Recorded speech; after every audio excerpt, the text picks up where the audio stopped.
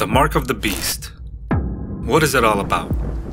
Now, this subject is probably one of the most debated when it comes to end time events. Is it a microchip or a tattoo that people are forced to wear in their foreheads or right hand? It's much like hunting for an animal's footprint. How would you know what footprint we're looking for if we do not specify which animal it is from? It is the beast's mark. They will also have the name of the beast and the number of his name. And what number is that? That number is 666.